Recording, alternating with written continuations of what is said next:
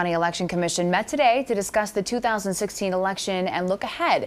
Officials say the new county's machines say that they are doing well, and they also looked at a proposed bill that would require automatic voter registration in the state. when they show up at the polls on election day expecting to be registered to vote, that we actually are able to find them in our voter registration books. The commission also discussed a proposed bill that would strengthen Arkansas's voter ID law. I'll tell